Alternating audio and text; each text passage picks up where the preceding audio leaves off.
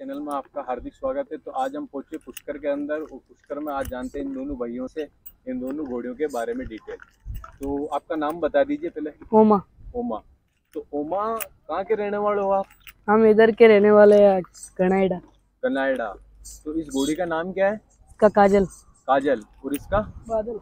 बादल। काजल और बादल ये आज पुष्कर मेले ग्राउंड के अंदर सबसे जानदार और सबसे शानदार लुक सावित्री माता के यहाँ पे ये करते हैं दोनों राइडिंग। तो ये राइडिंग के अंदर ही चलाते हो आप? हाँ। अच्छा तो मतलब क्या सवारी लेते हो? दो सौ तीन सौ चार सौ। अच्छा और इसकी एज की बात करें तो कितनी उम्र की है ये? ये बारह साल बारह तेरह साल की। बारह तेरह साल की। तो आपने कहाँ से ली थी वैसे इसको? पुष्कर मेले से। पुष्कर मेले से। और इसको? मेले से। अच्छा दोनों को मेले से लिए अच्छा और ये नॉर्मल डांस वांस करती है या करते है ना। अच्छा डांस करती है। इसको थोड़ा चला के दिखाइए।